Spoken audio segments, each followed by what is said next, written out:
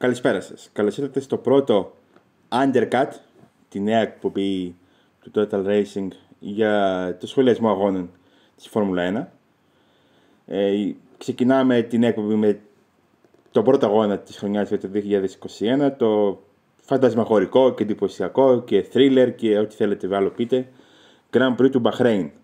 Μαζί μου είναι ο Τζένετης Πολυμενάκος. Καλησπέρα Τζένετο. Καλησπέρα Δημήτρη.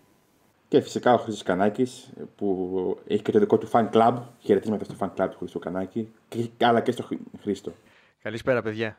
Και να ξεκινήσουμε κατευθείαν γιατί είδαμε τον πρώτο αγώνα της χρονιάς, αυτό που περιμέναμε πολλές, πολλές, πολλές εβδομάδες. Νομίζω είναι 14 εβδομάδες ήταν. Αν, δεν ξέρω αν τις μετρούσατε. Ε, όχι. Ε, και είδαμε έναν αγώνα που πιστεύω ότι μας αντάμυψε ιδιαίτερα. Είδαμε μια, έναν αγώνα που ήταν μέχρι το τέλος. Μας άφησε. Εγώ, εγώ ήμουν όρθιος, να σου πω την αλήθεια. Σίγουρα ήταν ένας αγώνας που είχε δράσει και μάχες σχεδόν σε όλη τη, τη διάρκεια του. Και το σημαντικότερο ότι είχε ωραία μάχη ε, που είχε διάρκεια για την νίκη. Κάτι που άμα συνεχιστεί για το υπόλοιπο τη σεζόν θα είναι πάρα πολύ καλό. Εγώ προσωπικά είναι η πρώτη φορά μετά από αρκετά χρόνια που περίμενα με τόση μεγάλη προσμονή τον πρώτο αγώνα. Όλο το τρίμερο και την Παρασκευή και το Σάββατο και την Κυριακή ανυπομονούσα. Ε, κοίταγα το ρολόι κυριολεκτικά ε, για το πότε θα έρθει η στιγμή για να ξεκινήσουν τα session. Και νομίζω ότι πράγματι ανταμυφθήκαμε από το θέαμα που παρακολουθήσαμε την Κυριακή. Και νομίζω ότι αυτό που μονοπόλησε το ενδιαφέρον ήταν η μάχη για την πρώτη θέση, όπως είπαμε. Ανάμεσα σε Max Verstappen και Lewis Hamilton. Ο Verstappen ξεκίνησε την pole position. Έκανε έναν, ένα, όχι τρομερό, αλλά ένα πρώτο που τον κράτησε στην κορυφή. Και εκεί μέχρι το πρώτο, μέχρι το πρώτο πιστό το, το ήλεγχε ίσως. Δεν ήταν σε μεγάλη διαφορά, ήταν γύρω στο 1,5-2 δευτερόλεπτα, δεν ήταν παραπάνω. Ε, η στρατηγική έπαιξε το ρόλο της γιατί η Mercedes έβαλε το Hamilton πολύ πιο νωρίς στα pitch για δύο ε, με την, ε, για δύο αλλαγές ελαστικών και τις δύο φορές πέρασε σε ε, φρέσκο σετ σκληρή γόμας που έχει κρατήσει και από την ε, Παρασκευή, καθώ δεν χρησιμοποίησε καθόλου Hamilton την, ες, την σκληρή γόμα στο, σε ελεύθερες δοκιμές. Ε, και τελικά τον έβγαλε στο τελευταίους 16-17 γύρους, πόσου ήταν, ο Χάμιλτον είχε το πλονέκτημα με τον Verstappen να έχει πολύ πιο φρέσκα ελαστικά. Έχω δει και αυτός δύο pit stop. Ε, ένα με μέση και ένα με, πάλι με, με σκληρή γόμα για το τελευταίο stint. Η στρατηγική ήταν. Νομίζω ότι το, το, είχαμε δύο pit stop. Ουσιαστικά διαμόρφωσε εν, εν, εν πολλής, ε, και το πώς εξελίχθηκε ο αγώνας. Δηλαδή ε, ότι ούτε η μέση ούτε η σκληρή γόμα μπορούσαν να αντέξουν για πάνω ας πούμε, από 25-30 γύρους, που είναι η μισή διάρκεια του αγώνα, να το πάμε αλλιώς έπαιξε το ρόλο της. Εσείς τι πιστεύετε γι' αυτό, να ξεκινήσω από το Χρήστο; Ε, νομίζω ότι η στρατηγική της ε, Mercedes έκανε τη διαφορά στο χθεσινό αγώνα. Ήταν εξαιρετική η επιλογή τους να βάλουν νωρίτερα μέσα τον Χάμιλτον για το πρώτο pit stop και να χρησιμοποιήσουν τη σκληρή γόμα της Pirelli, της E2. Παρ' όλα αυτά, ε, μου, έκανε, μου έκανε εντύπωση αρνητική το pit stop ε, που έκαναν στον Bottas, το οποίο τους ε, στέρισε νομίζω την ευκαιρία να ζωρίσουν λίγο περισσότερο τον Verstappen. Ναι, κοίτα δεις, είδαμε λίγο, βασικά είδαμε δύο διαφορετικές κατά κάποιο τρόπο στρατηγικές, με τη Red Bull να κρατάει στο πρώτο stint αρκετά ε, πιο πολύ έξω τον ε, Verstappen, κάτι που ίσως να έπαιξε και το ρόλο του για τη, για τη νίκη στο, στο τέλος. Αλλά ναι, OK, okay, ήταν δύο διαφορετικές στρατηγικές που στο τέλος η μεταξύ τους διαφορά ήταν πολύ μικρή και κέρδισε ο οδηγός. Δηλαδή δεν κέρδισε το μόνο θέση μόνο. Δηλαδή είδαμε μια πολύ σπουδαία μάχη για την νίκη ανάμεσα σε δύο πολύ ταλαντούχους οδηγούς και όπως είπα και στην αρχή, μακάρι αυτό να συνεχιστεί και να έχει ενδιαφέρον όλη η χρονιά. Φτάσαμε έτσι στους τελευταίους 15 γύρους, να το θέσουμε έτσι, ότι ο Verstappen έκοβε από μισό δευτερόλεπτο μέχρι ένα ακόμα κάτι που πήγε, ένα ακόμα λίγο. Ε, αναγύρω από το Χάμιλτον. Είχε βγει πίσω από τα πίτσα, είχε βγει με μια διαφορά 8,5 δευτερολέπτων και 5 γύρους πριν το τέλος τον είχε φτάσει στο, στο, στο σημείο να τον απειλεί από το DRS, να είναι στο 1 δευτερόλεπτο και να ανοίξει την, ε, το αεροδυναμικό βοήθημα της πίσω πτέρυγας ώστε να έχει μεγαλύτερη ταχύτητα σε ευθείες. Εκεί ο Φερστάπεν έκανε την, ε, την, την, την, κίνηση για να προσπεράσει.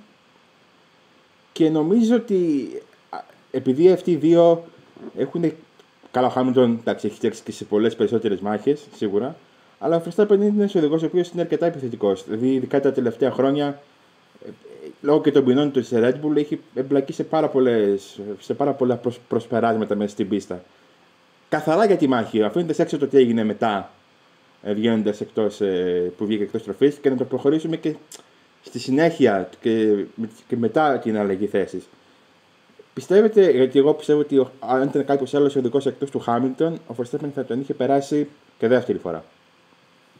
Ε, νομίζετε ότι είναι η κορύφωση του, του ταλέντου που μπορούμε να δούμε στη τωρινή Φόρμουλα 1, η Μάκη είναι ανάμεσα σε αυτούς τους δύο; Κοίτα να δεις, μέχρι στη, στιγμής ε, οι υπόλοιποι, αν το πάμε συγκριτικά με τη δυναμική των ομάδων, ε, είναι αυτή η μάχη των δύο είναι η κορυφαία που θα μπορούμε να δούμε φέτος. Δηλαδή είναι οι δύο που λογικά θα διεκδικούν ε, τις νίκες, σύν που ο Μπότας κάπου θα είναι ανταγωνιστικός και θα είναι τρεις για τη μάχη. Οπότε, ναι, νομίζω φέτος αυτή θα είναι η, η κορύφωση των ε, μαχών που θα βλέπουμε. Χριστό. Νομίζω ότι η αναμέτρηση ανάμεσα σε Hamilton και Verstappen ήταν αυτό που ήθελε η Φόρμουλα 1, αυτό που ήθελαν όλοι οι φίλαθλοι της Φόρμουλα 1 ανά τον κόσμο. Αυτό περιμέναμε τόσα χρόνια και να το που συμβαίνει επιτέλους. Για την χθεσινή ε, σύγκρουση ανάμεσα στους δύο, σύγκρουση εννοώ ε, τη μάχη έτσι, ε, θέλω να πω ότι δεν παίζει ρόλο τόσο πολύ για εμένα το προσπέρασμα που έκανε ο Verstappen και όλα όσα έγιναν με την ε, παράβαση των ορίων της πίστας. Ε, νομίζω ότι όλα χθες ε, οφείλονται, η έκβαση της ε, μάχης οφείλεται στην εξαιρετική στρατηγική όπως ανέφερα και πριν της Mercedes και την ε, κακή αντίστοιχα στρατηγική ε, της Red Bull. Αυτό. Δεν, δεν δίνω τόσο πολύ σημασία εγώ προσωπικά στην ικανότητα του ενός οδηγού να αμυνθεί και του άλλου να επιτεθεί. Νομίζω ότι πιάστηκε στον ύπνο η Red Bull. Αδίκησαν τους εαυτούς τους, είχαν ξεκάθαρα πιο γρήγορο μονοθέσιο. Φάνηκε αυτό στο build-up του αγώνα, στις ελεύθερες δοκιμές και στις κατατακτήριες. Νομίζω ότι ήταν εξαιρετικός ο Verstappen. Επηρεάστηκε, πιστεύω, επίσης από ένα πρόβλημα που ανέφερε και ο ίδιος στις δηλώσεις του μετά το τέλος του αγώνα. Όπου είχε, δεν είχε άμεση απόκριση δύναμης στην έξω εξόδους από τις κλειστές και αργές στροφές. Εγώ περιμένω να δω και τους επόμενους αγώνες, ε, όπου σίγουρα θα είναι πιο έντονη η μάχη ανάμεσά τους. Να συμπληρώσω ότι παρόμοιο πρόβλημα είχε και τα προηγούμενα χρόνια η Honda με τη Red Bull. Ότι στις εξόδους των αργών στροφών σαν να είχε lag ε, το turbo και να αργούσε να δώσει τη δύναμη. Αλλά και τώρα, Τζανέτο, αν θυμάσαι και χθες στον αγώνα, ότι την Κυριακή θέλω να πω, ε, το ανέφερα από την αρχή ο Verstappen στο Team Radio συνεχώς ότι ένιωθε πως κάτι δεν πήγαινε καλά. Παρότι κινούταν αρκετά γρήγορα, έτσι. Και εντάξει, η Honda είναι ένα βήμα πιο πίσω από τη Mercedes, όχι τόσο από πλευρά απόδοσης, γιατί άμα δούμε μέρου τις τελικές και τις αποδόσεις ε, στην επιτάχυνση, ας πούμε, ή στην εκκίνηση ή οπου, οπουδήποτε αλλού. Οι δύο κινητήρες να είναι πολύ κοντά, δηλαδή έχουν ελάχιστες διαφορές, αν έχουν, και όποιε έχουν νομίζω ότι από στον τομέα της αξιοπιστίας η Honda έχει ακόμα να βρει. Δηλαδή η Mercedes πέρσι είχε μια δύσκολη χρονιά από πλευράς αξιοπιστίας. Γι' αυτό και δεν κέρδισαν όλοι όλους τους αγώνες. Δηλαδή δεν κάνει ένα-δύο σε κάθε αγώνα. Για να το θέσουμε πιο, πιο απλά. Αλλά νομίζω ότι η Honda είναι αρκετά κοντά. Δηλαδή είναι πιο κοντά σίγουρα. Θα δούμε πώς θα είναι και φέτος μέσα στη χρονιά. Η αρχή της σεζόν με εκτός από τον Bahrain ε, μέχρι και Νομίζω μετά έχουμε Ισπανία, Μονακό, μέχρι να, να φτάσουμε στον Καναδά για να δούμε πίστα που οι κινητήρε παίζουν 100% ρόλο. Ε, νομίζω ότι έχει την ευκαιρία στους πρώτους αγώνες τουλάχιστον, αν ο κινητήρας της είναι OK, είναι αξιόπιστος, να πολεμήσει τα ίσια με την, με την Mercedes. Τώρα, για μένα το πιο σημαντικό που έγινε είναι ότι η Red Bull απλά έδωσε την θέση στον. Ε, πρέπει στον Verstappen να, να δώσει πίσω τη θέση του. Γιατί εντάξει, βγήκε εκτός πίστας και ε, είναι ξέχωρα από το τι γίνεται σε όλη την υπόλοιπη αγώνα. Αν προσπερνάς και έχεις βγει εκτός πίστας, εκτός των ορίων της άσπρης γραμμής που ορίζεται, ε, σε εκείνη την ε, στροφή, είναι άκυρο το προσπέρασμα. Δηλαδή, οπουδήποτε και αν το κάνεις, και αν το έκανε στην, πιο, στην ορούζα που όλοι κόβουν, που δεν θα, δεν θα το έκανα, αλλά τέλος πάντων. Οπουδήποτε και να κάνεις αυτό το προσπέρασμα θα έπαιρνε ποινή. Τώρα, το γεγονός ότι ήταν οδηγία από το race control να δώσει, πίσω, να δώσει ο πίσω τη θέση και να μην πάρει μια, μια, μια ποινή. Πιστεύετε ότι έπαιξε ρόλο στο να, ότι υπήρχε κάποια πιο βαριά ποινή που θα ερχόταν από τον και τον Verstappen εάν έκανε αυτό που έλεγαν ότι εντάξει, δώστε μου 5 δευτερόλεπτα, θα τα καλύψω. Γιατί αυτό είπε μετά τον αγώνα, ότι παιδιά μπορούσε να ανοίξει 5 δευτερόλεπτα την διαφορά. Εσείς τι πιστεύετε γι' αυτό, ε, Χρήστο; Δεν το ξέρουμε αυτό. Ε, δεν το... Μόνο υποθέσεις μπορούμε να κάνουμε για το ποια θα ήταν η ποινή αν ενδεχομένως δεν είχε παραχωρήσει πίσω τη θέση ο Verstappen. Ίσως ε, εγώ να κάνω μια υπόθεση προσωπικά δεν πιστεύω ότι θα ήταν τόσο πολύ βαριά η ποινή. Γιατί υπήρχε και το προηγούμενο με τον Χάμιλτον, ο οποίος και με τον Μπότας, οι οποίοι και οι δύο ε, παρενέβησαν τα όρια της πίστας στο συγκεκριμένο σημείο αρκετές φορές μες στον αγώνα. Μάλλον βρίσκανε καλύτερο, καλύτερη πρόσφυση σε αυτό το σημείο. Χωρίς να, χωρίς να τιμωρηθούν, ούτε καν ε, ε, τους επεδείχθη ε, μαύρη και άσπρη σημαία που προβλέπεται για αυτές τις περιπτώσεις συνήθως; Ε, δεν ξέρω. Δεν μπορώ να ξέρω τι θα γινόταν. Είναι σωστή σαν απόφαση ε, αυτή που πήραν οι Αυστριακοί στο τέλος και έδωσαν την εντολή στο Verstappen, ασχέτως τι λέει ο Verstappen. Τα υπόλοιπα είναι μόνο υποθέσεις. Ναι, και εγώ συμφωνώ πάρα πολύ σε αυτό. Δηλαδή, το ότι του λένε κάνει στην άκρη αμέσως, ε, για μένα είναι κάτι που δεν ξέρω αν θα έκανε, αν θα κάνει άλλη ομάδα τόσο εύκολα. Ε, δεν ξέρω όμως, επειδή η Red Bull δεν είναι ομάδα η οποία έχει συνηθίσει τέτοιες συμπεριφορές. Καμία δεν είναι, αλλά έτσι που λέμε.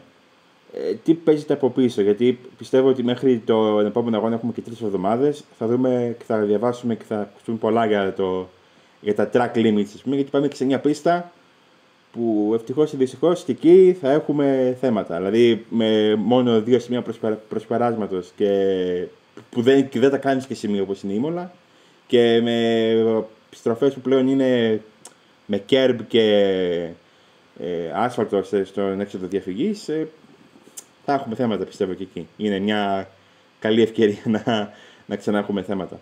Ε, τώρα, για τα track limits, πριν πάω στη Σεντζένετ, να σου κάνω μια, μια, μια ερώτηση. Αν, επειδή, εντάξει, υποστηρίζει Ferrari, δεν το κρύβεις από κανέναν, πιστεύω.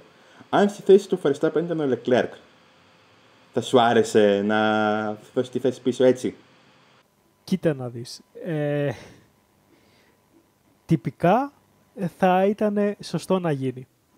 Αλλά από την άλλη, όταν ο αντίπαλός σου στους ε, 30 από τους 56 γύρους του αγώνα πατάει συνεχώς εκτός και κερδίζει από μισό μέχρι ένα δέκατο ή πόσο μπορεί να κερδίζει, ε, το να του δώσει τη θέση πίσω επειδή έκανες ένα μικρό λάθος και βγήκε έξω την ώρα της προσπέραση. Ε, είναι λίγο περίεργο γενικά αυτό για την εικόνα της φία και των αγωνοδικών, άμα θες, για τον ε, συγκεκριμένο αγώνα. Αλλά απ' την άλλη, αυτό που μου έκανε πιο πολύ εντύπωση ε, δεν ήταν η εντολή της Red Bull να δώσει τη θέση πίσω από Verstappen. Ήταν που ο Verstappen το δέχτηκε τόσο εύκολα. Γιατί σε παρόμοιες περιπτώσεις στο παρελθόν ε, έχουν περάσει 10 γύρια ακόμα στο Team Ready να του λένε δώσει θέση πίσω. Όχι, όχι, δεν τη δίνω και ναι, το έχουμε δει πολλές φορές αυτό. Οπότε... Μεξικό 2016. Ναι, νομίζω ήταν στο Κα... Μεξικό με τον Φέτελ. Ναι, ναι, που έκανε τα κολοδάχτυλα μετά. Ναι, ναι. Ήταν, ε, ναι, όχι, έχεις δίκιο, έχεις πολύ δίκιο σε αυτό. Το 17 πρέπει να ήταν. Δεν είμαι σίγουρο. Άμα, άμα στα, στα, σχόλια μετά στο live ή από κάτω να μας πείτε σε ποιο Grand Prix ήταν. Θα το δούμε βέβαια. Αλλά... Στο, Austin, στο Austin νομίζω ήταν. Στο, Austin, το 17. Στο Austin το 17 ήταν που πέρασε εκτός πίστας στον Ράικον. Ναι, και μετά πήρε ποινή. Ναι. Αλλά εκεί δεν, δεν παραχώρησε ποτέ ε, πίσω τη θέση. Εκεί δεν, δεν προλάβει, ήταν το τελευταίο γύρο. Στο, στο, στο Μεξικό μια χρονιά σωστό, ήταν, σωστό. ήταν που, που έκανε. Που, που, που, που, ε, το πρώτο σικέιν το έκοψε. Έχασε τα φρένα, έφυγε ευθεία. Νομίζω, νομίζω ήταν το 16 πάντως. Γιατί έπρεπε να κάνει ένα-δύο Mercedes. Έχεις δίκιο. Έχεις πρέπει... δίκιο, το παίρνω πίσω αυτό που είπα πριν. Ναι, ναι, ναι. Πρέπει, πρέπει να ήταν το, το 16, θα το δούμε.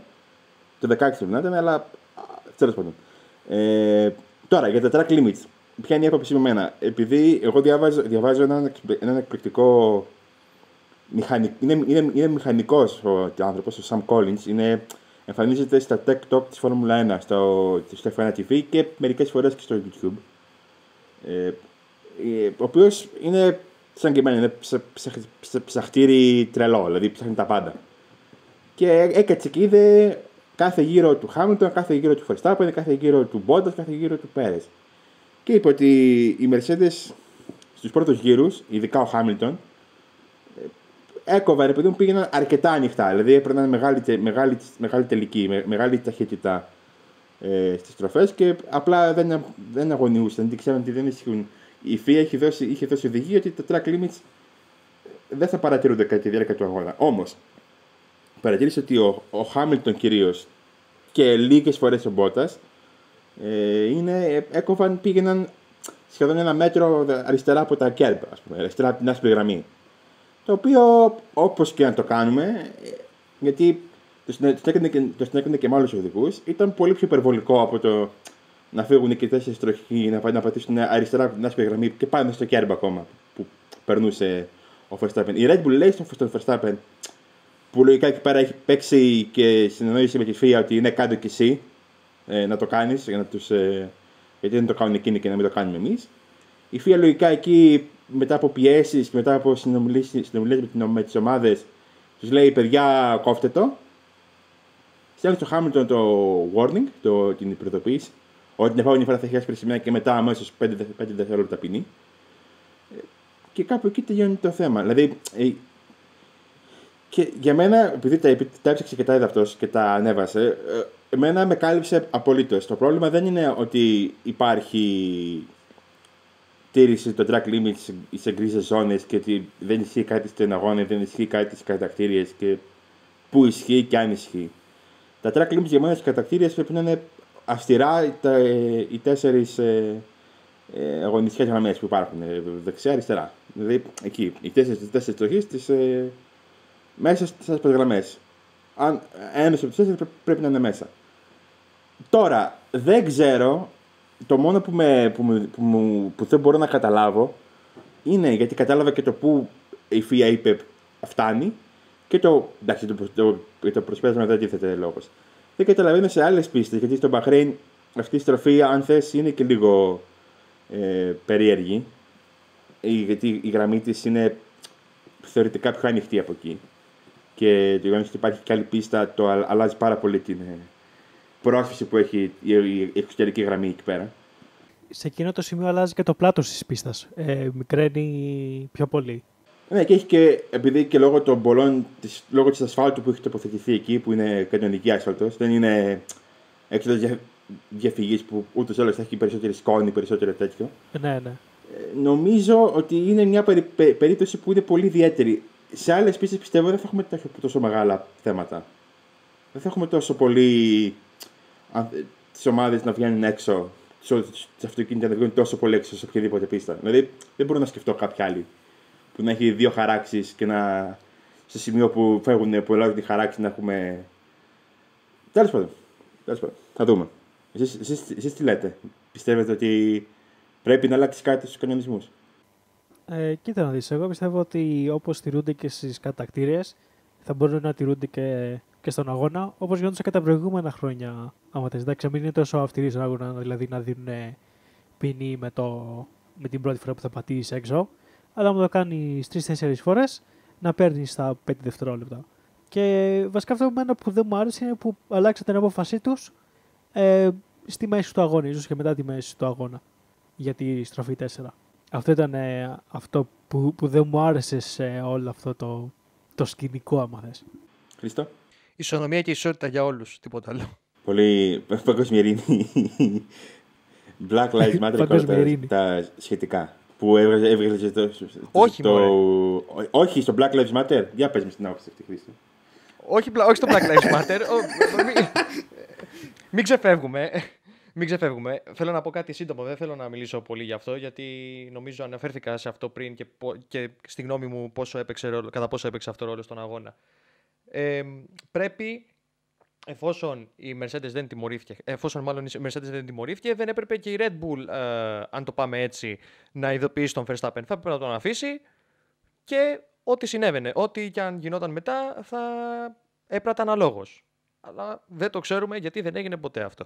Θα μπορούσαμε να έχουμε επανάληψη Καναδά 2018. Ναι, OK, okay, συμφωνώ. Δεκα, ε, 19. Α, ναι, 19, ναι. ναι. Τέλος πάντων. Να περάσουμε τώρα στον μεγάλο άτυχο του αγώνα και στο το χειρότερο νομίζω των καταρχήνων δοκιμών. Ο Σέρχιο Πέρες ε, ήπια θάλασσα στο Q2. Έτσι. Τον βγάλανε με την ε, μέση γόμα και, ήρθε, και, και, και ξεκίνησε ενδέκατος. Νομίζω.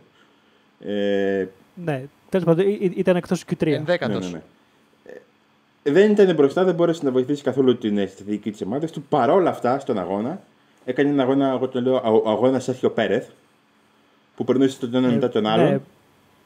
Και έφτασε εκεί που μπορούσε να φτάσει στο maximum, ας πούμε. Μπορούσε να φτάσει και μπροστά από τον Νόρις, αλλά. OK, okay, πολύ κοντά στο maximum, στην πέμπτη θέση. Ξεκίνησε από το pit lane. Ναι, ναι, ναι, ναι αυτό. Δηλαδή είναι αγώνας Σέρχιο Πέρε. Ότι δεν τα παρατάει ποτέ και στο τέλος το βλέπεις να τους προσπερνάει όλους. Ε, θα μπορέσει να είναι. Δεν σου λέω να είναι. δεν σου λέω να είναι στο ρόλο, στο ρόλο του Ρικιάρντο που μπορεί ίσως να στερήσει και κανένα δύο αποτελέσματα από τον ε, Verstappen. Θα μπορέσει να είναι στο ρόλο του Μπότας της Red Bull. Δηλαδή στην κακή μέρα του Verstappen να παίρνει νίκες και στην ε, καλή μέρα του, του Verstappen να είναι ένα. Δεν θέλω να πω πιστό σκυλάκι, αλλά ένα τίμιο λαμπραντόρ που θα βοηθήσει τον, ε, τον Verstappen, θα πιέσει το Hamilton και όλα αυτά. Ε, κοίτα να δεις, άμα οι κατακτήριες που θα κάνει στους επόμενους αγώνες θα είναι εκεί που πρέπει λογικά να είναι, ε, θα μπορεί να τα καταφέρει. Και ίσως να είναι και πιο καλός από την ε, ο Μπότας ε, στη Mercedes. Κάτι που θα είναι που θα παίξει σημαντικό ρόλο για το πρωτάθλημα των ε, κατασκευαστών. Απλά το θέμα είναι οι κατατακτήρες. Δηλαδή, άμα κρίνουμε τώρα από τον πρώτο αγώνα, άμα συνεχίσει έτσι, ναι, δεν ξέρω. Θα είναι πολύ δύσκολο. Και δε, δηλαδή υπάρχουν αρκετές πίστες που δεν είναι τόσο εύκολο να, να, να προσπεράσεις. Οπότε, ναι, πρέπει να δούμε και πώς θα είναι η συνέχεια στις κατακτήρες που θα κάνει. Χρήστο. Υπάρχουν δύο παράμετροι που πρέπει να εξετάσουμε. Πρώτον, ήταν η πρεμιέρα του Πέρε στη Red Bull εγώ περίμενα ότι στις δοκιμές δεν, δεν θα ήταν τόσο καλός. Όχι βέβαια σε σημείο να αποκλείεται από το Q2. Όμως ε, η δεύτερη παράμετρος, αυτή που θα αναφέρω τώρα, έχει να κάνει με το ότι ο Πέρες είναι Sunday driver. Ποτέ δεν ήταν οδηγός κατά κτίριων δοκιμών.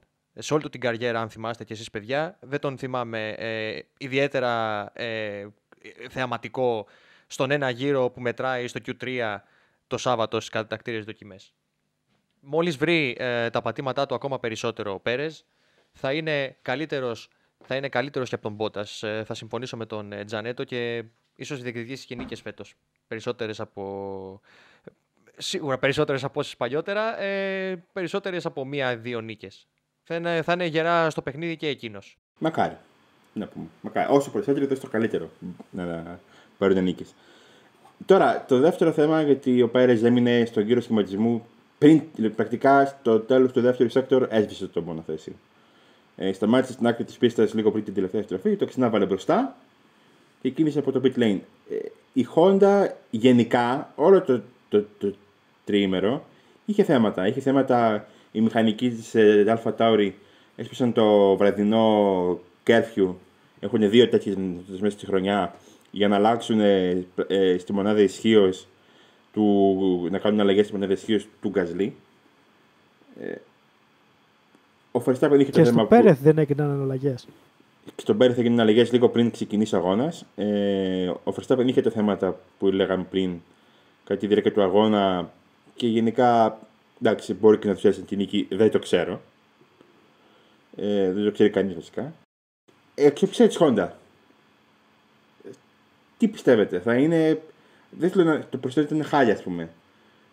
Πόσο καλή μπορεί να είναι. Δηλαδή, δεν έχουν αλλάξει και πολλά από πέρυσι στους κινητήρες. Ε, η Honda λέει ότι είναι ο καλύτερος κινητήρας που έχει φτιάξει ποτέ. Θα είναι η χειροπτέρα της. Τζένετο. Κοίτα να δεις, από θέμα δύναμης δεν δείχνει να, να υστερεί πολύ άμα θέσει από το κορυφαίο κινητήρα της Mercedes. Αλλά η αξιοπιστία νομίζω είναι ένα θέμα.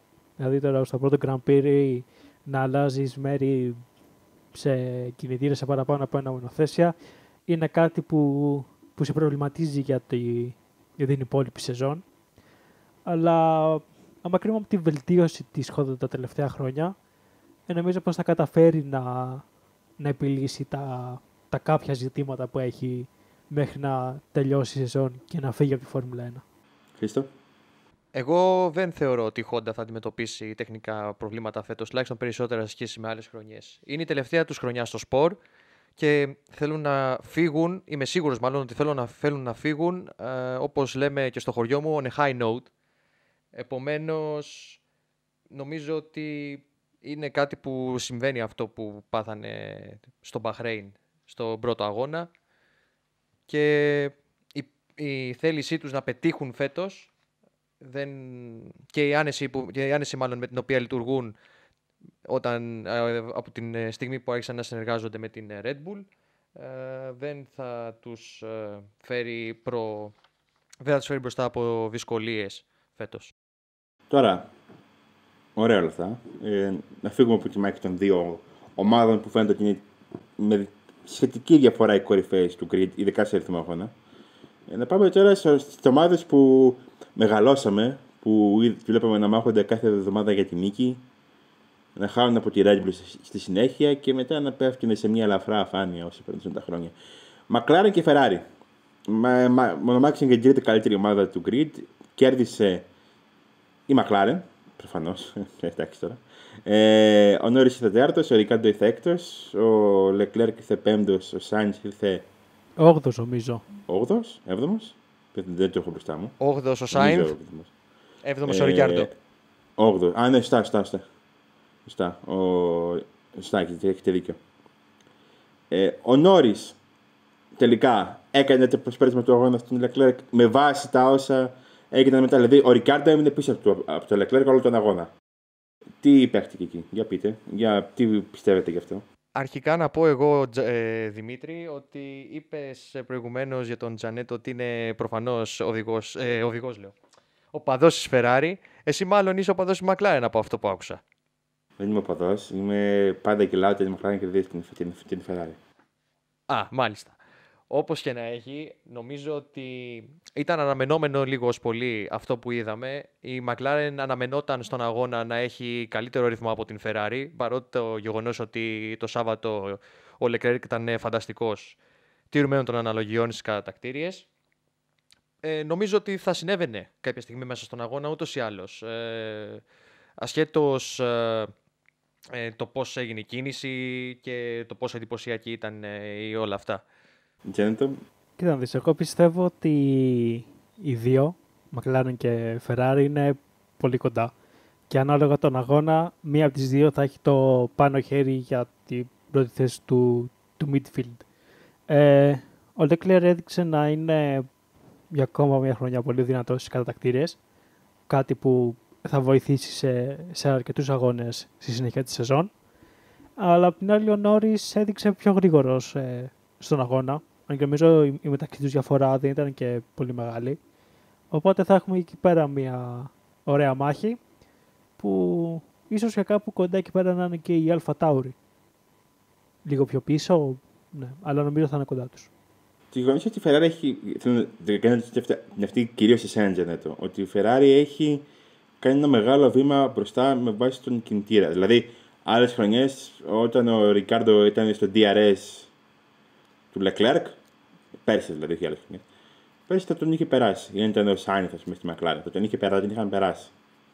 Φέτος με τη McLaren έχει έναν εξίσου δυνατό κινητήρα, έχει και πιο, και πιο δυνατό.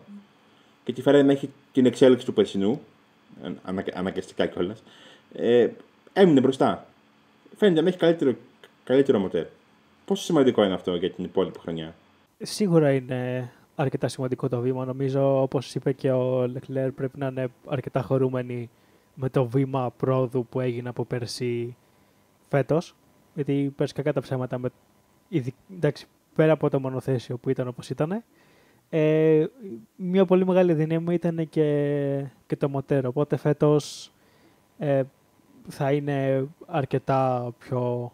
Θα μπορεί να πάρει αρκετά πιο δυνατά αποτελέσματα σε πίστες που πέρσι ήταν πίσω, πολύ πίσω. Και γενικά νομίζω είναι ένα πολύ καλό βήμα όλη αυτή η εξέλιξη και θα προσφέρει και, και θέαμα με μάχες στην πίστα. Μια χαρά. Τώρα, πάμε στο παρατράγουδο της ημέρας. Όχι, ο Αλόν, δεν είναι ο Αλόνσο το παρατράγουδο. Το παρατράγουδο είναι αυτό που έγινε στον, στον, στον, στον Αλόνσο. Ε, όταν τελείωσε ο αγώνας και με τον Ισπανό με, που κατέληψε νωρίς. Ε, η Ρενό είπε ότι είχε κάποιο ντεμπρί στα φρένα, ότι κάτι, κάτι μπήκε μέσα και σταμάτησε να, να, να, να, να, να αποδίδει το σύστημα των πίσω φρένων και οδηγήθηκε σε, σε κατάληψη. Μετά λοιπόν το τέλος του αγώνα, κατά τις 11.30, ήρθε ένα mail στο, στον υπολογιστή μου που το άνοιξε, ήταν οι δηλώσει της Ρενό και κάτω-κάτω ήταν οι δηλώσει της Αλπίν. Αλπίν, έχεις πει δύο φορές Ρενό. Αλπίν, Αλπίν.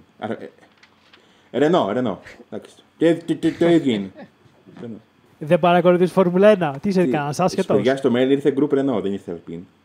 Δεν, ξέρω, δεν θέλω να σα αγχώσω. Άμα το φτιάξουν, εγώ θα τη λέω Ρενό. Ε, Σκληρό. Ε, τι να κάνουμε. Ε, ε, τώρα.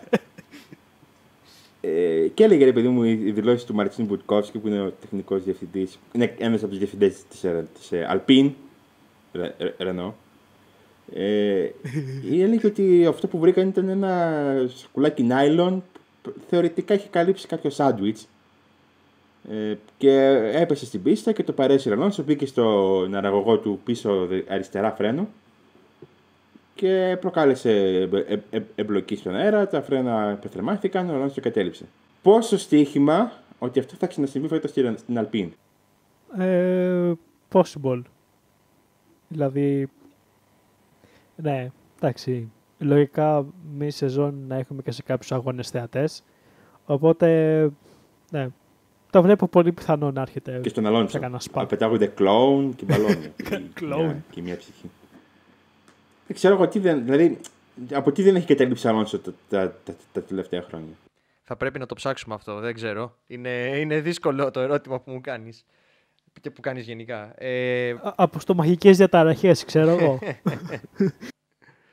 Κοίταξε, νομίζω ότι μιλάμε για τον πλέον κακότυχο οδηγό στην ιστορία της Φόρμουλα 1, έτσι.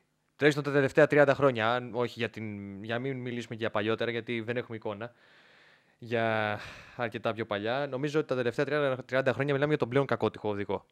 Με όλα αυτά που του έχουν συμβεί από το 2007 και μετά. Ναι, τον έχει χτυπήσει ρεύμα, τον έχει χτυπήσει αμάξι. Ναι. Τώρα έφεγε ένα σακουλάκι από. Δεν, νομίζω το έχω ξανακούσει να γίνεται, αλλά τέλος πάντων. Περίεργο. Δηλαδή... Ναι, πιο πιθανό είναι να γίνει με, με ζελατίνα από τα κράνη. Που πλέον τα είχαν απαγορεύσει να τα βγάζουν στην πίστα και τα βγάζουν μόνο στο pit lane πλέον. Ναι. Μπορεί να το, μπορεί να το κάνει επίτηδε κανένας εχθρός του Αλόνσο.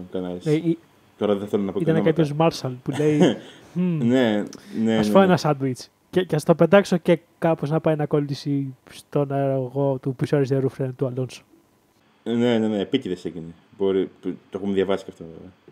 Πέρα από όλα αυτά που λέμε, νομίζω ότι χθες ε, όσο έτρεξε ο Αλόνσο μέχρι τη στιγμή που εγκατέλειψε, μας, ε, προσφέ, μας προσέφερε ιδιαίτερο θέαμα. Ήταν πολύ ανταγωνιστικός ε, δεδομένων των συνθήκων ε, και δεδομένη της δυναμικής του μονοθεσίου του, το οποίο έδειξε, η Αλπίν μάλλον γενικά έδειξε χτες αρκετά αργή. Νομίζω ότι, μάλλον τώρα θα χρησιμοποιήσω κάτι που είπε ο πάντα εύστοχος σε όλα αυτά ε, συνεργάτης μας, εξαιρετικός μας συνεργάτης ο Παναγιώτης Οντάκος, όταν παρακολουθήσαμε τον αγώνα χθες, ότι από ό,τι φαίνεται η αύξηση του κέντρου βάρους ε, που έχουν κάνει στο μονοθέσιό τους ε, έχει επιπτώσει στην φθορά των ελαστικών. Ε, φτύρει η Αλπίν περισσότερο τα ελαστικά της από κάθε άλλο.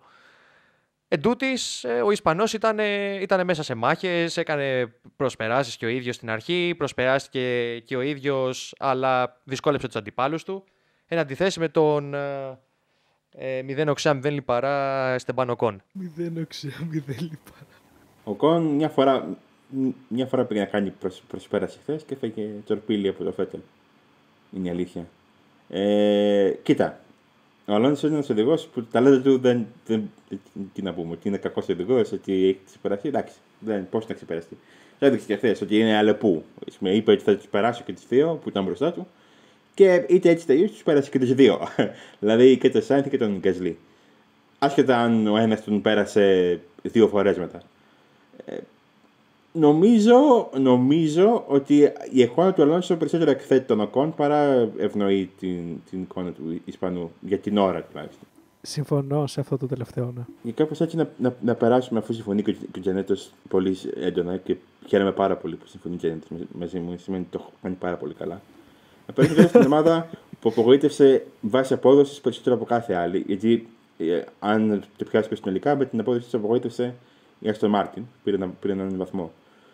Βάσει της απόδοσης που έδειξε στις ελεύθερες δοκιμές, στο Q1 κυρίως, και ο Γκασλής στη συνέχεια των κατακτηρίων, η Αλφατόρη πήγαινε για τις θέσεις που ήταν η McLaren, ξέρω εγώ. Για τις θέσεις που είναι η. Που είναι η Aston Martin για να περάσει, να κάνει προσπάθεια στην Aston Martin στον, στον τελευταίο γύρο. Η Αλφα Τάουρι ή Aston Martin, γιατί είπες Aston Martin στην αρχή. Η Αλφα Τάουρι δεν, έχει νόημα να, να, δεν είχε νόημα χθες να παλεύει με την Aston Martin, είπα. Μας πήγε κουβά η Αλφα Τάουρι. Μας πήγε... Ίσως έχουμε μια μαυρόγατα, όπως είπα Μαυρόγατα. στο Discord. Που, Χρήστο, που επειδή μιλάγαμε. είχες πει και το θερμικό στοίχημα για βάθρο Αλφατάουρι στο Μπαχρέιν, όταν είδες να φεύγει η πτέρυγα του Γκασλή και λίγες στιγμέ μετά ο Τσινόντα να, κάνει, να έχει έξοδο και να πέφτει 17ο, πώς αισθάνθηκες; Όπως έχω αισθανθεί και τις άλλες φορές που υποστηρίζω κάτι και το βλέπω να ανατρέπεται στον πρώτο γύρο.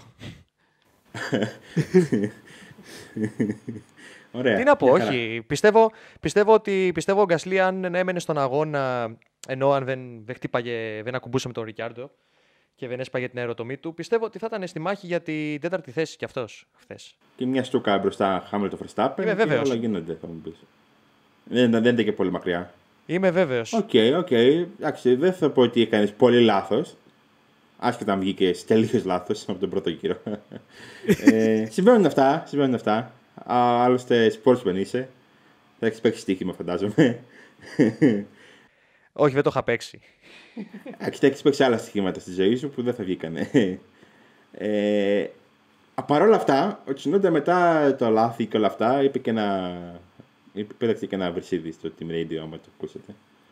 Ε, έκανε έσχη. Δηλαδή ήταν, ανέβηκε από ένα σημείο και μετά, αφού έφτασε και βρήκε ρυθμό και άλλαξε μετά το τελευταίο pit stop και είχε οδηγού υποστό του για να περάσει, τους περνούσε πιο αργά μου να θέσει σίγουρα. Αλλά αυτό που έκανε στο Στρόλ, ας πούμε, στον τον τελευταίο γύρο που, που έδειξε από 20 μέτρα πίσω. Τον έπιασε στον ύπνο. Ε, εντάξει, το έχω δει από τον Ρικάρδο μια-δύο μια, δύο φορές. Πιο πίσω πρέπει να πάμε σε μοντόγες. Δηλαδή ε, δεν το βλέπει συχνά. Ήταν τρελό το από πόσο πίσω βρέθηκε ξαφνικά δίπλα του. Ποιος είναι βασί. Όχ, ένα μονοθέσιο. Όπα, ναι, τι Οχ. έγινε εδώ. Με περάσατε. Παπά! Με βάση το γεγονό ότι πάνε τώρα στο σπίτι τους στην Ήμολα. Είναι ε, 50 χιλιόμετρα από τη Φάιντζα, να λέω και πάρα πολλά. Και εκεί κάνανε και το Ε, shakedown νομίζω του μονόθεση. Ναι, ναι, ναι. Πού μπορεί να είναι στην Ήμουλα οι δύο Αλφατάουροι. Και το λέω αυτό γιατί μοιάζουν. Ο Γκαζίλ μοιάζει ένα βήμα, ένα βήμα μπροστά ως πιο έμπειρος και πιο. Ε, οδη, πιο οδηγός μέχρι τώρα από τον Τσινόντα. Πιο οδηγός Φόρμουλα 1 μέχρι τώρα από τον Τσινόντα. Αλλά και ο Τσινόντα ήταν. Δηλαδή λες, όπα ρε φίλε, κάτσε, τι, τι είσαι εσύ; Από πού, από πού ξεφύτρωσες; Τι τσουτσέκι ε, παριστάνεις; Ναι, Χρήστο, επειδή υπήρξε και μια πρόληψη για την Ήμολα. Θα ξαναδώσω φάφρο για Αλφα Τάουρι στην Ήμολα. Μέχρι να βγει. Α, έτσι, κόντρα. Μέχρι να βγει. Και εκεί που θα βγει, Ω, θα- επιμένω, σωστά- επιμένω. σωσ- Επιμένω. Σωστά έλεγα. Όχι, ναι. Ε, Εγώ το θεωρώ πολύ πιο πιθανό από τον Μπαχρέιν. Να σου πω την αλήθεια. Και δίνω και επίσης και θεωρώ επίσης ότι θα είναι δυνα... ακόμα πιο δυνατός και ο Τσουνόντα. Μου άρεσε. Είναι, είναι θρασής. Είναι θρασής όπως και συμφωνώ επίσης με όλα αυτά που είπατε και οι δύο προηγουμένως. Τα θετικά, έτσι. Έτσι. Μια χαρά. Οπότε όσοι, όσοι ακούτε, ειδικά το fan, το fan club Χρήστο Κανάκη, ε, παίχ- παίζουμε βάθρο Αλφα Τάουρι. Είτε Γκαζλέ είτε Τσουνόντα. Κυρίως Τσουνόντα ίσως. Αν δείτε καλύτερη απόδοση του Τσουνόντα, χώστε χ- χρήμα. Τζανέτο, εσύ τι θα παίζεις στην Αλφα Τάουρι. Ε, σίγουρα περιμένω στην Ήμολα να είναι αν όχι λίγο μπροστά από McLaren και Ferrari να είναι πολύ κοντά σε αυτές τις δύο. Δηλαδή να είναι στα ε- ένα-δύο δέκατα η διαφορά. Οπότε, ναι, με λίγη βοήθεια από την τύχη μπορεί να βγει αυτό που είπε ο Χριστός σήμερα. την τύχη που δεν είχαν χθες, ας πούμε. Να πούμε- Να πούμε ότι γράφουμε Δευτέρα. Το podcast θα βγει λογικά Τρίτη. Ε, Η Τρίτη ή Τετάρτη. είναι ανάλογα. Ε, Τώρα να περάσουμε στον οδηγό, ο οποίος νομίζω ότι μας απογοήτευσε παρότι δεν είχαμε καμία ελπίδα από αυτόν. δεν, είχαμε, δεν, δεν θέλουμε να έχουμε καμία σχέση με. με προσέφερε μαζί αρκετά memes. Ναι, προσέφερε memes, προσέφερε αυτά που, δεν, αυτά που θέλαμε να προσφέρει, αλλά ήμασταν πολύ διστακτικοί να τα πούμε γιατί εντάξει, οδηγεί είναι, ο οδηγός είναι και αυτός, τη ζωή του βάζει σε κίνδυνο, στο κάτω-κάτω. Νικήτα Μαζέπιν. Δεν είναι κακός. Εγώ δεν πιστεύω ότι είναι κακό οδηγός. Την έχω δει και στη Φόρμουλα 2. Στρίβει. Δηλαδή είναι καλός. Αλλά ρε φίλε, δεν έχεις, δεν έχεις κανένα μονοθέσιο σούπερ. Τι πας και κάνει. Έκανε, σε, έκανε μια, ένα, ένα τετακές στο στα FP. Δύο σκατακτήριε και ένα στον αγώνα που τον έστειλε στον τοίχο. Τέσσερις αγώνες. Έκανε στην αγώνα έκανε τρεις τροφές. Δυόμιση τροφές. Τι πήγε λάθος εκεί; Κοίτα να δεις, θα πω αυτό, αυτό που είπα και στο Χριστό πριν ξεκινήσουμε να γράφουμε. Στα δύο επίσημα session που έκανε στο Q1 και στον αγώνα, έκανε λιγότερο από τρεις γύρους και είχε τρία τετακέ. Αυτό οφείλεται επειδή πήγαινε η Γιούρι, ας πούμε έτσι. Ε, ναι, μόνο είχε συνηθίσει από τα μονοθέσια της Mercedes που οδηγούσε σε δοκιμές τα προηγούμενα χρόνια και σε φάση, OK, okay, πάμε, τέρμα γκάζι. Με αυτό με τη Χάς και ειδικά τη φετινή Χάς δεν δουλεύει καθόλου. Δηλαδή, το είδαμε και στο Σουμάχερ που έπαθε ακριβώς το ίδιο πράγμα στον αγώνα. Απλά δεν το σπάσε. Ναι. Καλά, και ο Μίκ έκανε τέτοια, αλλά ο Μίκ είναι πρέσιο που δεν το, δεν το κατηγορούμε. Συμβαίνουν αυτά. Και το έκανε, το έκανε μόνο μία φορά, έτσι, το έκανε πέντε. Δηλαδή, ναι. OK. Okay. Χρήστο; Νομίζω ότι μιας και αναφέρεται και, για τον, μιας και αναφέρεται και τον Μίκ Σουμάχερ, νομίζω ότι καθρεφτίστηκε χτες η, η νοοτροπία και των δύο σαν, σαν οδηγών. Δηλαδή ότι ο Σουμάχερ είναι ένας οδηγός ο οποίος σιγά σιγά χτίζοντας ε, θα αποδώσει, ενώ ο Μαζέπιν είναι αρκετά πιο παρορμητικός και από ό,τι φάνηκε πάνω που προσπαθούσε να πιέσει το πάρα πάρα πολύ δίστροπο φετινό μονοδέσιο της ΧΑΣ, ε, έχανε τον έλεγχο. Δεν θα πρέπει να τους κρίνουμε και τους δύο φέτος ε, σαν οδηγούς. Είναι, ε, δεν προσφέρεται δηλαδή η δυναμική της ομάδας τους φέτος για να τους ε, κρίνουμε από αυτά που θα δούμε. Η Haas ε, θεωρώ ότι είναι χειρότερη και από την Williams το 2019. Δηλαδή είναι πολύ άδικο, είναι πολύ άδικο και παρά τα meme τα οποία okay, είναι πολύ πετυχημένα τα περισσότερα για τον Μαζεπίν. Είναι πολύ άδικο να λέμε ότι ο Σουμάχερ ε, όποτε κάνει λάθη έχει το, είναι, βρίσκεται στο απειρόβλητο και δεν πρόκειται να κατηγορηθεί ενώ ο Μαζεπίν ε, ε, ενδεχομένως λόγω της, ε, ε λόγω της συμπεριφοράς του εκτός ε, αγώνων έχει, έχει δώσει το δικαίωμα να υπάρχουν αντιδράσεις σε βάρος του άμα κάνει κάποιο λάθος. Είναι πολύ άδικο αυτό το Είναι πάρα πολύ άδικο. Θα πρέπει να περιμένουμε την επόμενη χρονιά όταν θα υπάρξουν οι μεγάλες αλλαγές όπου είμαι βέβαιος ότι η Haas θα είναι πολύ καλύτερη και θα δοθεί δυνατότητα στους δύο οδηγούς της, έχοντας πλέον και οι δύο ένα χρόνο εμπειρίας, να αποδώσουν ε, στο μέγιστο των δυνατοτήτων τους ή κοντά σε αυτό. Ωραία. Αφού περάσαμε και από τη Haas, ήρθε η ώρα να ολοκληρώσουμε το podcast. Να πούμε ότι είχε και MotoGP το, το, το, Σαββατοκύριακο με τον Maverick Vinales να παίρνει την πρώτη νίκη της χρονιάς και τον Ζωάν Μίνα να βλέπει δύο Ducati να πετάνε σαν, σαν τις είπε, τις είπε uh, Angry Ducatis came up like rockets, δηλαδή θυμωμένες Ducati. ε, ο του Ζερακό και του Μπανάιο πήραν το βάθρο. Ε, ωραίος αγώνας, ε, ε, περίεργο αποτέλεσμα. Δηλαδή, αν περίμενες μια Ducati μπροστά θα ήταν ο Μίλλερ, όχι ο, ο Ζερακό. Και αν περίμενες έναν οδηγό μπροστά θα ήταν ο Κορταραρό, όχι ο, όχι ο Βινιάλες από την Yamaha. Τέλος πάντων, έχει και δεύτερο Grand Prix και θα ασχοληθούμε πολύ περισσότερο με αυτό την επόμενη αγωνιστική, την επόμενη εβδομάδα. Καλά. Την επόμενη εβδομάδα που. Τη εβδομάδα αυτή δεν είναι. Ναι, που μας έχει. τρέχει τώρα, Το... It's a race week. It's a race week. Ε, που έρχεται. Grand Prix Doha, πάλι στο Κατάρ, στην ίδια πίστα. Έχουν μείνει εκεί. Οι περισσότεροι οδηγοί έχουν μείνει εκεί σχεδόν 1,5 μήνα. 40 μέρες. Από τις δοκιμές με όλα αυτά. Οπότε, ενανώνουμε το ραντεβού μας για ναι. μετά τον αγώνα. Τζανε... Πες, πες. Δημήτρη, να πω κάτι. Α ελπίσουμε πες, ο γιατρός να είναι λιγάκι καλύτερος. Γιατί πικράθηκα. Πικράθηκες, αλλά. Παρακόλουσα λίγο το MotoGP. Αλλά από ό,τι φαίνεται η Πετρώνα Γιαμάχα δεν είχε ετοιμαστεί κατάλληλα για την αγώνα. Γιατί είχαν και οι δύο θέματα. Ε, τεχνικά θέματα. Δυστυχώς. Δυστυχώς. Λοιπόν, τώρα έχει κενό η Φόρμουλα 1 τρεις εβδομάδες. Ε, σημαντικό κενό, δεν το περιμένεις πολύ συχνά. είναι το- Να έχεις έναν αγώνα και τρεις εβδομάδες μετά τον επόμενο. Αλλά τι να κάνουμε, έτσι είναι. 16 με 18 Απριλίου ο αγώνας της επόμενης οργάνωση Φόρμουλα 1 στη Μον, στην Ήμολα. Ε, επιστρέφουμε για το δεύτερο Grand Prix της Εμίλια Ρωμάνια. Αυτή τη φορά δεν έχει κι άλλο ένα, ακόμα. Έχει ένα τεράστιο μακρινό τίτλος, δεν το λέω. Grand Prix Εμίλια Ρωμάνια. Ε, τα FP είναι τις κλασικές πλέον ώρες. Μία ώρα. Ε, μεση, με, μεσημεράκι. Ε, ο- οι κατακτήρες είναι στις 4 και ο αγώνας είναι στις 4. Έχει και φόρμουλα Regional by Alpine, η παλιά φόρμουλα Renault που λέγαμε. Ε, νομίζω ότι θα δούμε καλύτερο αγώνα. Ακόμα καλύτερο αγώνα εκεί πέρα. Γιατί τε- τε- ταιριάζει πολύ στα μονοθέσια και των δύο, και της Red Bull και της Mercedes. Οπότε σχέση με το Bahrain που δεν πήγαινε και, και πολύ καλά και οι δύο ομάδες εκεί. Αναμένουμε λοιπόν το, το ραντεβού μας για την Ήμολα. Ε, Γιάννη και Χρήστος, σας ευχαριστώ που είστε μαζί μου. Εμείς και ευχαριστούμε. ελπίζω να, ελπίζω Να να, είσαι είμαστε, καλά. να είμαστε μαζί και στο επόμενο ε, Undercut. Και να, ελπίσουμε, και να ελπίσουμε ότι θα σπάσει η γκίνια για Max Verstappen στην Ιταλία. Πέρσι είχε 3 στα 3 στις 3 εγκαταλείψεις. Όντως αυτό ισχύει. Θα δούμε τώρα. Οκ. Είναι ένας αγώνας που εγώ τον περιμένω με πο- πολύ μεγάλη ανυπομονησία και είναι και το κενό των τρει εβδομάδων. Ε, το οποίο θα κάνει αυτή την ε, διακοπή ακόμα πιο έντονη. Α, μέχρι τότε, λοιπόν, επειδή δεν σταματάει η δράση στο, στο Motorsport ποτέ, ε, ακόμα και ειδικά τώρα που έχουμε ξεκινήσει, ε, μπορείτε να, ακολ- να ακολουθήσετε το, το Total Racing σε όλα τα ε, social media, να, μας, να κάνετε εγγραφή στο YouTube ε, και, σε- και στο Spotify και σε τα Apple Podcast και όπου μας, όπου μας ακούτε και όπου που θέλετε να μας ακούσετε. Ε, και θα περιμένετε γιατί, όπως είπαμε, δεν θα σταματήσουμε καθόλου. Δεν- Οι ρυθμοί δεν πέφτουν τώρα που ξεκινήσαμε. Και σας περιμένουμε στο επόμενο podcast. Να είστε καλά.